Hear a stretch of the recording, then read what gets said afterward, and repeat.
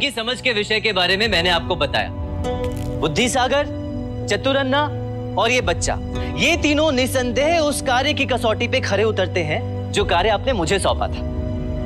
अब यहाँ उपस्थित बाकी बचे दो महानुभावों से भी आपका परिचय कराया जाए। इनसे मिलिए महाराज। ये है रुकिए रुकिए रुकिए रुकिए। आपसे आठ मूर्ख ढूंढ कर लाने के लिए कहा गया था। ये तो पाँच हैं। बाकी के तीन कहाँ हैं? हमारे सलाहकार महोदय का गणित कुछ ठीक नहीं है। या फिर बाकी के तीन मूर्ख ढूँढने में पूरी तरह विफल रहे हैं आप। कहीं ऐसा तो नहीं था कि आपके सामने कुछ और मूर्ख थे? समझ रहे ना? कुछ और थे। परंतु आपने छोड़ दिया। केवल इसलिए कि आपके संस्कार आपको इस बात की आज्ञा न दे रहे हो। क्यों आपका कर्तव्य कहीं आपके संस्कारों की बलि तो नहीं चढ़ गया सलाहकार महोदय। नहीं आचार्य बिल्कुल नहीं। ऐसा नहीं हुआ है। मैंने महाराज के आदेश का पूरी तरह शत प्रतिशत पालन किया है। पूरे आठ मूर्ख ढूंढे हैं मैंने। तो बाकी के तीन कहाँ हैं? बोलिए। धैर्य आचार्य धैर्य। उनसे भी अभी यही कुछ समय में ही आपकी भेंट कराऊँगा। बस मुझे कुछ समय दे दीजिए तब तक बाकी बचे इन दो महानुभाव से परिचय पूर्ण कर लें। पंडित रामकृष्ण आप आगे बढ़िए और शीघ्र इस विषय का समापन कीजिए।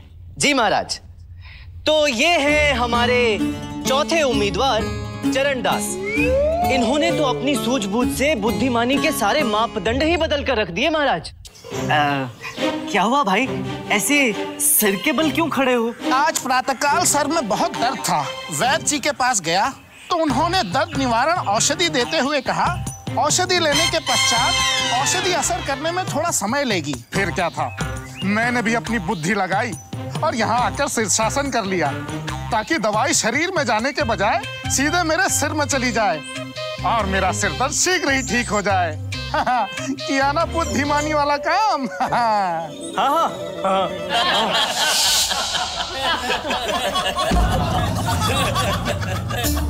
और अब ये हैं हमारे पांचवे उम्मीदवार। प्रकाशम। इन्होंने तो अपनी बुद्धि दृष्टिकोण से ईश्वर तक को ठग लिया महाराज। उन्हें भी मूर्ख बना डाला। इनके बारे में मैं नहीं, ये स्वयं आपको बताएँगे। बताइए प्रकाशम, बताइए किस तरह से आपने ईश्वर की आँखों में धूल झोंकी? बताइए। अरे, झिझकिए मत मित्र। बताइए सबको अपने चातुर्य के बारे में। यहाँ भी तो सबको पता चलना चाहिए कि आपने ऐसा किया क्या? कि ईश्वर भी आपके झांसे में आ गया। बताइए बताइए प्रकाश महाराज मेरा नाम प्रकाशम नहीं है। झूठ बोला था मैंने आपसे। हम जानते हैं नहीं महाराज। यह मैं राजपुरम की गोष्ठी में मिला था। और इसने अपना नाम अट्टाचार्य बताया था। वो भी मैंने झूठ बोला था। आपको बहुत मानता हूँ। इसीलिए मैंने अपना नाम अट्टाचार्य बताया था।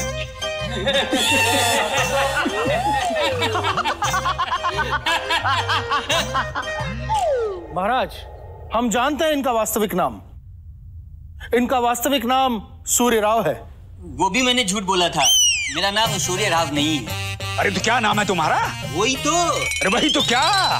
वही तो खेल है महाप्रभु। अब क्या है कि बचपन में मेरी नानी ने मुझे बताया कि ऊपर? जीवन मृत्यु का हिसाब किताब चित्रगुप्त लिखते हैं। वो भी हर किसी के नाम के साथ। फिर क्या था? मैंने चलाई अपनी बुद्धि और ये तय कर लिया कि आज के बाद मैं किसी को अपना असली नाम ही नहीं बताऊँगा। फिर क्या था? मैंने अपना किसी को नाम ही नहीं बताया। अब बताता भी कैसे? मैंने अपना कोई नाम ही नहीं रखा। तो आपने अपना नाम क्यों नहीं रखा? यही तो चित्रगुप्त को चकमा देने के लिए मंत्रीवर अब मेरा जब कोई नाम ही नहीं है तो चित्रगुप्त अब किस नाम से मेरी मृत्यु को लिखेंगे? यमदूत किस नाम से मेरे प्राण को हरने के लिए आएँगे? यानी मैं मरने से रहा। यानी मैंने मृत्यु को चकमा दे दिया। यानी मैंने भगवान को भी मूर्ख बना दिया।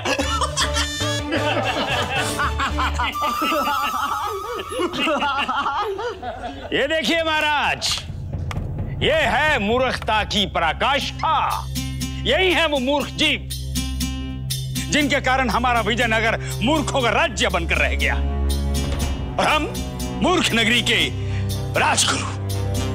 दंड दीजिए इन्हें महाराज। लगाइए सौ कोड़े और स्थापित कीजिए ऐसा ऐतिहासिक उदाहरण जिसके पश्चात हमारे राज्य में कोई भी मूर्खता का विचार करने से पहले सौ बार सोचे। कैसी विकट स्थिति है? ये सब ठीक नहीं हो रहा है। किंतु करे भी तो क्या करें? आदेश भी तो हमें दिया था।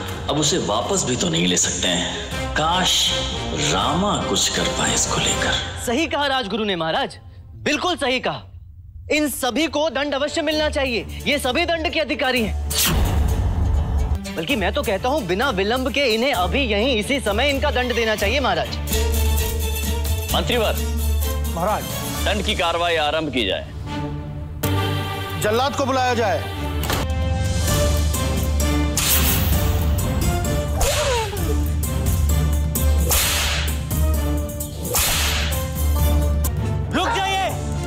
मेरे विचार से ये प्रक्रिया अधूरी रह जाएगी, महाराज। यदि महाराज के तय आदेश के अनुसार यहाँ पूरे के पूरे आठों मूर्ख उपस्थित ना हो तो केवल पाँच मूर्खों को ही यदि दंड मिला तो ये तो आपके आदेश की अवमानना होगी। दंड मिले तो पूरे आठों मूर्खों को मिले। अन्यथा इस दंड का क्या औचित्य, महाराज? हाँ तो बताइए ना। बताइए, कहाँ है शेष तीन मूर्ख? प्रस्तुत कीजिए उन्हें। कीजिए मूर्खों के बीच में खड़ा। बाकी के तीन मूर्ख भी है महाराज। जिन्हें मैं एक एक करके आपके सामने प्रस्तुत करूँगा।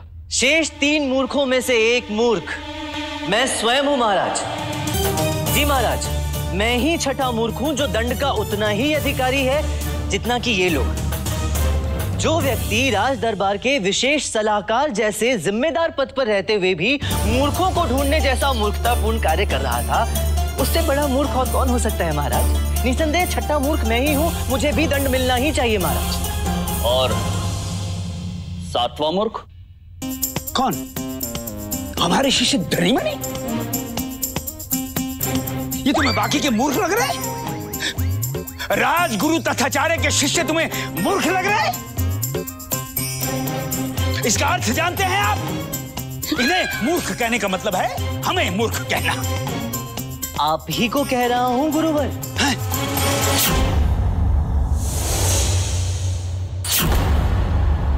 सातवें मूर्ख, आप ही हैं आचार्य। ये देखिए महाराज, ये हमें मूर्ख कह रहे हैं। हमें। प्रख्यात पंडित तथाचार्य राजगुरु, कुलगुरु, तथाचार्य को मूर्ख कह रहा है महाराज।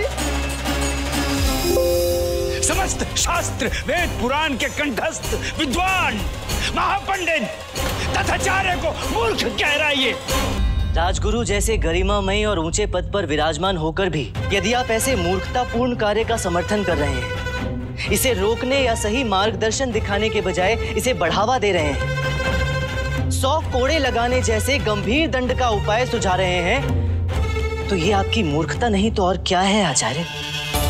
पंडित रामकृष्ण हम जानने के लिए व्याकुल है कि आठवां मूर्ख कौन है? ये ये पंडित पागल हो गया महाराज। संपूर्ण रूप से पागल हो गया है। आपको आपको मूर्ख कह रहा है महाराज? महाबली सम्राट कृष्णदेव राय को मूर्ख कह रहा है ये विक्षिप्त पंडित। ये तो आप कह रहे हैं आचार्य। हम हमने कब कहा? अभी तो आपने महाराज को मूर्ख कहा। वो तो तुमने कहा तो हमने कहा। मैंने कब कहा? अभी कहा। क्या कहा? कहा नहीं लेकिन कहना तो यही चाहते थे कि महाराज मूर्ख है। मैंने नहीं कहा आचार्य। मैंने तो केवल महाराज के प्रश्नों का उत्तर दिया। अर्थ तो यही हुआ तुम्हारे उत्तर का कि महाराज मूर्ख है। अरे ये आप चौथी बार महाराज को मूर्ख बोल रहे हैं प्रभुवर बस। पंडित रामकृष्ण कदाचित आप भूल रहे हैं कि आप किसके सम्मुख खड़े हैं और किसके विषय में बात कर रहे हैं। मैं जानता हूँ महाराज। कि मैं कहाँ खड़ा हूँ और किसके उन्मुख हूँ। मैं अपने अन्नदाता, अपने महाबली सम्राट, महान शासक श्री कृष्णदेव राय के सम्मुख खड़ा आपको भले ये मेरी उदंडता लगे, परंतु मुझे पूरा विश्वास है महाराज, कि महान बुद्धिजीवी शासक महाराज श्री कृष्णदेव राय उद्दंडता और सत्य का अंतर समझेंगे। फिर भी यदि आप मुझे कोई दंड देना चाहते हो तो मुझे आपका दिया कोई भी दंड सहर्ष स्वीकार है, महाराज। बस केवल मुझे इतना बता दीजिए कि यदि किसी में बुद्धि क्षमता कम है तो इसमें उस बेचारे का क्या दोष, महाराज? ईश्वर ने तो उसे ऐसा ही बनाया है। ये केवल दंड के पात्र इसलिए हैं, क्योंकि इनके देखने और सोचने का दृष्टिकोण अलग है। इस बच्चे से पूछा गया कि एक और एक कितने होते हैं। इसने कहा ग्यारह क्या गलत कहा महाराज? केवल दृष्टिकोण का अंतर है ना? जहाँ दो अंक मिलकर हमारे लिए दो बनते हैं, इसके लिए ग्यारह बन रहे इससे पूछा गया कि सबसे शुद्ध भावना कौन सी है? इसने कहा घृणा। इससे शुद्ध उत्तर और कोई हो सकता है क्या महाराज? शेष सभी भावनाओं में हमारी सोच का गणित काम करता रहता है। केवल घृणा ही एक ऐसी भावना है जिसमें विशुद्ध रूप से केवल और केवल हम और हमारा अहंकार होता है महाराज। फिर इससे पूछा गया कि हमारे राजा कौन है? इसने कहा, भगवान।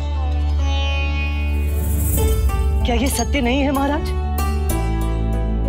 क्या हम सब का इस संसार का, इस सृष्टि का, हम सबका सबसे बड़ा राजा वो ईश्वर नहीं है। क्या राजाओं का राजा वो प्रभु परमेश्वर नहीं है जिसके सब अधीन है? आप, मैं, हम सब। ये बच्चा पूरी रात पानी का बर्तन लिए अपनी माँ के सिरहाने खड़ा रहा। सबको इसमें इसकी मूर्खता दिखी, इसकी माँ को भी। परंतु क्या वास्तव में वो इसकी मूर्खता थी? बताओ। तुम सारी रात पानी का बर्तन लिए क्यों खड़े रहे? माँ प्यासी ही सो गई थी। अगर प्यासे होने के कारण उनकी नींद खुलती तो वो मुझे वहाँ नहीं देखती। तो उन्हें प्यासा ही सोना पड़ता।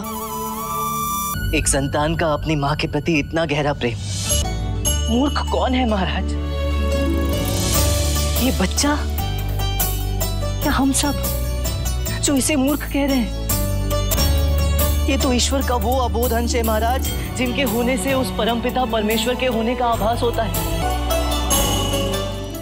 ये लोग तो अबोध है महाराज। हम सबसे अधिक विश्वास और सम्मान के अधिकारी हैं, क्योंकि ये किसी के साथ छली नहीं कर सकते, किसी को कोई हानि नहीं पहुँचा सकते। इनमें इतनी बुद्धि ही नहीं है कि किसी को कोई भी क्षति पहुँचा सके। ये काम तो हम जैसे तथाकथित बुद्धिमानों का है। जो सोच समझकर छल कपट करते हैं, धोखा देते हैं, विश्वासघात करते हैं। इनका उपाय दंड नहीं महाराज, शिक्षा है। मेरा आपसे नम्र अनुरोध है महाराज, कि इन्हें दंड देने के बजाय इन्हें शिक्षित किया जाए।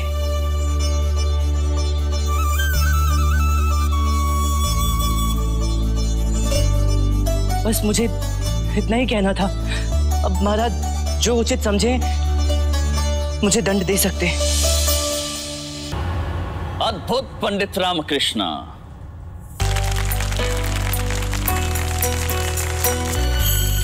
अद्भुत। ये जो अतिथिगण हमारे यहाँ पर आए हुए हैं, इन्हें पूरे सम्मान के साथ स्वतंत्र किया जाता है। और इन्हें यहाँ पर आने में जो कष्ट हुआ है, उसके लिए हमें खेद भी है। और दुख भी। मंत्रीवर महाराज। तत्काल आदेश पर पूरे राज्य में रात्रि विद्यालय खोले जाएँ, जहाँ निशुल्क शिक्षा की व्यवस्था की जाए। हम चाहते हैं कि हमारे पूरे राज्य में अधिक से अधिक लोग शिक्षित हों। प्रयत्न ये हो कि कोई कोई अशिक्षित न रह जाए। और हमारे जो ये अतिथि हैं उन्हें भेंट उपहार दिए जाए और ससम्मान इन्हें अपने गंतव्य तक पहुँचाया जाए। जी महाराज। पंडित रामकृष्ण जिस राज्य के पास आप जैसा सुलझा हुआ विद्वान सलाहकार हो वहाँ भला कोई मूर्खता कैसे कर सकता है?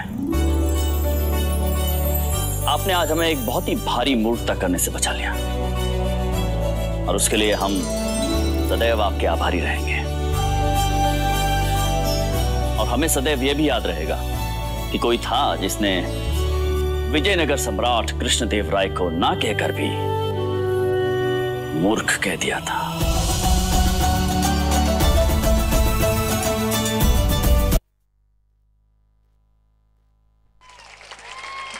Thank you boys for